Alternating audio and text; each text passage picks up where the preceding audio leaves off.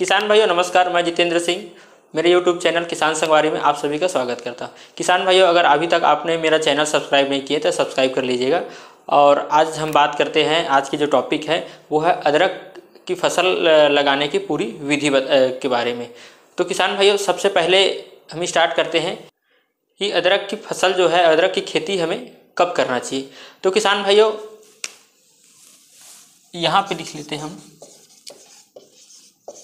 अदरक की खेती।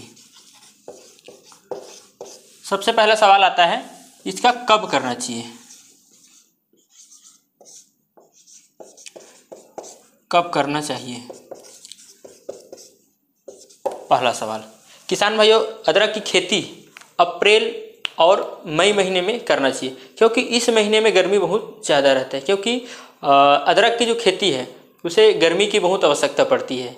क्योंकि बगैर गर्मी का ये फ़सल उत्पादन करना मुश्किल हो जाता है। क्योंकि इसमें यह हो जाता है कि जो हमारा जो अदरक का जो बीज रहता है उसको सुखाना पड़ता है उसको स्टेप बाय स्टेप हम आगे बात करते हैं। तो सबसे पहले हम बात किए कि ये अदरक की खेती में को हमें कब करना चाहिए तो अप्रैल या मई महीने में गर्मी में करना चाहिए।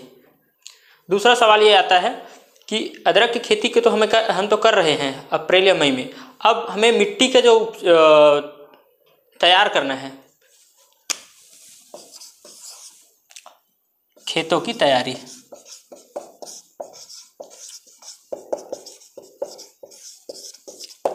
खेतों की तैयारी कैसे करना? तो सबसे पहले किसान भाई एक चीज़ बताना चाहूँगा कि जिस खेत में हम अदरक की खेती करने जा रहे हैं, उस खेत खेत की सबसे पहले हमें मिट्टी की परीक्षण करा लेना है, क्योंकि उसमें ये पता चलेगा कि कितनी मात्रा में एन है, कितनी कितनी मात्रा में पीएच मान है, क्योंकि उस समय हमारे खेत की जो पीएच मान होना चाहिए। सिक्स पॉइंट फाइव से लेकर के सेवन पॉइंट फाइव पीएच मान होना चाहिए।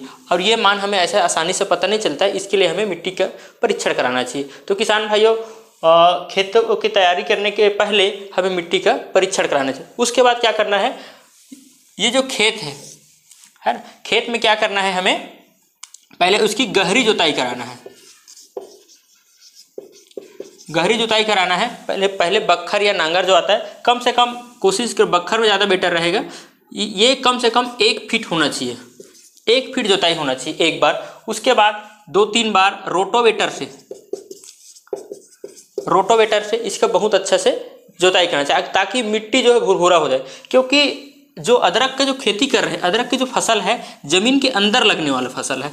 और ज़मीन जब तक भुरभुरा नहीं होगा, ये इसका जो कांदा है, जो साइज़ है उसका, ये क्या है, बढ़ेगा नहीं। क्योंकि ज़्यादा मज़बूत रहेगा मिट्टी तो बढ़ेगा नहीं। तो फ़सल में, उत्पादन में कमी आ सकता है। तो हमें क्या करना है ज़्यादा से ज़्यादा जुताई करना है मिट्टी का।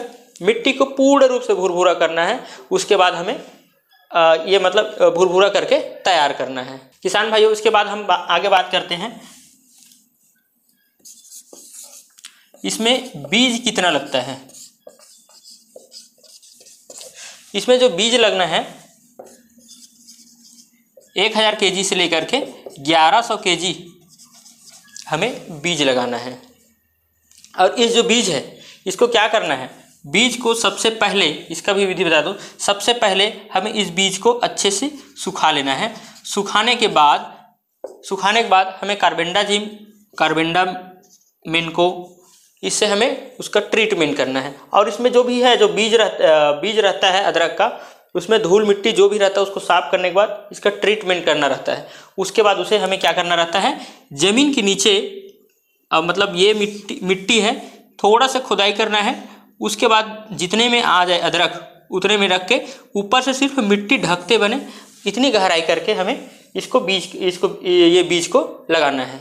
अब बात करते हैं हम इसमें इसकी जो दूरी है, कितनी कितनी मात्रा में कितनी कितनी दूरी में लगाना है, इसको पूरा पूरा हम बात करते हैं। इसकी जो दूरी बनाना है, जैसे ये हमारा खेत हुआ। इस खेत में क्या करना है हमें? इस लाइन में हमें अदरक लगाना है, दो लाइन से। दो लाइन से लगाना है तो उसमें क्या करना है? जो बीज से बीज की दूरी है, बीज से बीज की जो दूरी है, आठ से नौ इंच रहेगा। ये जो है आठ से नौ इंच की दूरी में रहेगा ये पहला पट्टी। और दूसरी पट्टी जो है, इसका जो पट्टी से पट्टी की दूरी, क्योंकि हमें इस इस सीधे सीधे में इसका लगाना है। तो यहाँ पे हम इसका एक कतार बना लिए। तो यहाँ से बीज से बीज की दूरी हम बनाएँ आठ से नौ इंच। उसके बाद जो कतार रखेंगे, ये जो कतार है, ये कतार से कतार की दूरी रहेगा एक फीट।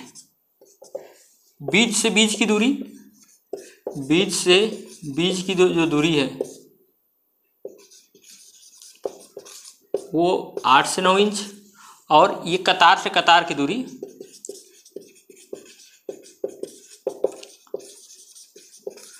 एक फीट। उसके बाद ये हमारा क्या हुआ? दो पट्टी में लगेगा मतलब एक ही कतार के पास दो पट्टी लगेगा। उसके बाद हमें चलने के लिए या तो फिर जगह चाहिए जो यहाँ से थोड़ी सी दूर रहेगी, ये साढ़े चार से लेकर पाँच फीट की दूरी में फिर इस सेम विधि से हमें दो कतार में फिर लगाना रहेगा। इसमें जो है, ये यहाँ पे लग गया, उसके बाद हमें ये चलने के लिए या तो गैप यहाँ पे होना चाहिए। इसकी जो दूरी होना चाहिए, ये साढ़े चार से पाँच फीट की दूरी इसका होना चाहिए। उसके बाद सेम विधि से यहाँ पे भी फिर लगेगा, फिर यहाँ पे साढ़े चार से पाँच फीट की दूरी रहेगा, फिर यहाँ पे दो पट्टी लगेगा, फिर साढ़े चार से पाँच फीट की दूरी। ऐसे करके पूरा हमें खेत में लगाना है। इसके बाद ये हुआ हमारा दूरी की बात हुआ। अब आगे हम बात करते हैं। किसान भाइयों आगे हम बात करते हैं इसमें खाद कौन सा डालना है। खाद ज़्यादा बेटर रहेगी इसमें। सबसे पहले हमें इसमें गोबर खाद डालना है। गोबर खाद डालना है पाँच ट्राली से लेकर के आठ ट्राली गोबर खाद डालना है।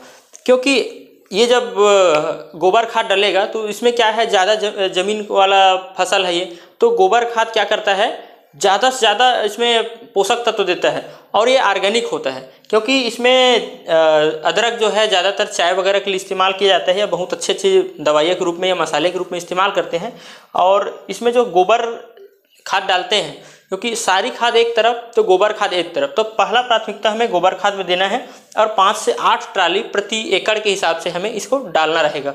उसके बाद आपको जो भी चीज़ डालना है, इसमें एक्स्ट्रा इन डालना है है ना? फास्फोरस डालना है, जो भी डालना है, उसको डालना है, लेकिन सबसे पहले प्राथमिकता देना है गोबर खाद पे। किसान भाइयों, आपको ये वीडियो कैसा लगा इसको कमेंट करके ज़रूर बताइएगा और वीडियो को लाइक कीजिएगा और जो भी अदरक लगाने वाला किसान होगा, उसके पास आप इस वीडियो को शेयर ज़रूर कीजिएगा। धन्यवाद।